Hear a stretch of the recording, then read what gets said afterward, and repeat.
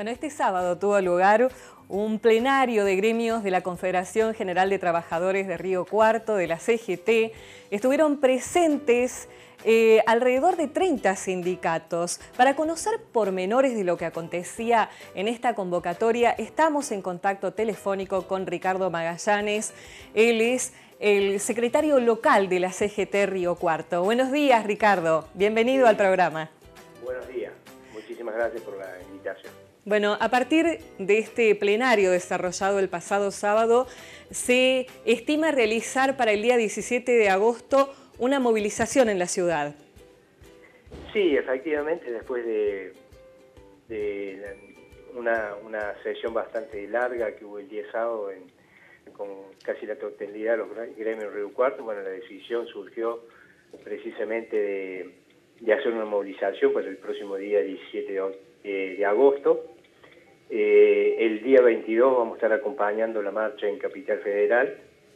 Y bueno, como una fecha tentativa para realizar un, plenario general de las regionales de SGT de toda la provincia para el día 30 también de corriente, eh, para tomar medidas en conjunto o acciones en conjunto con las distintas regionales en cuanto a una situación que que venimos avisorando y bueno, y sobre todo el avance sobre los derechos de los trabajadores, que creemos que es importante que eh, en conjunto empecemos a trabajar para, para hacer este, notar nuestro desconformismo en cuanto a las políticas económicas que se vienen llevando, que tanto están afectando, pero sobre todo para lo que se viene, que es este, el avance sobre este, el sistema jubilatorio, sobre los derechos laborales y demás.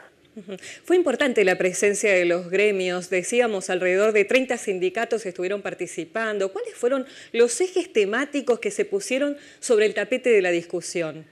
No, este, la, situación ya se, la venimos avisorando, es decir, por eso hubo un llamado a un plenario por distintos hechos que habían venido ocurriendo, eh, pero sobre todo por la, por la situación que viene padeciendo cada uno de los sectores.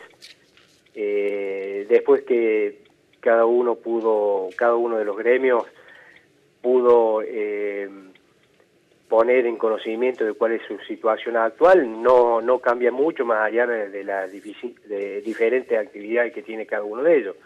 Pero en sí este, todos nos aqueja el mismo problema y la misma problemática y, bueno, y a raíz de eso es la definición que hemos tomado en el documento de empezar con acciones que van más allá de, del plenario y que, eh, que tiene que ver con, con, acciones directas de aquí en más. Y bueno, y, también haber declarado a la CGT en sesión permanente de aquí en más para ir monitoreando cada una de las situaciones que se vienen dando y que lamentablemente son casi todas en contra de los trabajadores.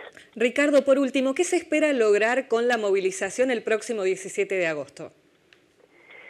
No, la, decisión es, eh, es, cierto una, una determinación ya eh, que nos aqueja a todos, eh, lo que venimos sufriendo los trabajadores es una situación que entendemos que no la podemos dejar pasar, la fuerte pérdida de poder adquisitivo que hemos tenido, eh, los ajustes desenfrenados que siguen en cuanto a, luz, agua, gas y sobre todo eh, teniendo en cuenta la, digamos el enfriamiento de economía donde cada día tenemos menos trabajadores en sectores este, eh, mayoritarios, como puede ser los empleos de comercio, y donde sobre todo no vemos que se avisore lo que algunos funcionarios dicen que eh, se está eh, que ha habido un rebrote que bueno que, ha mejorado la economía pero bueno en nuestra ciudad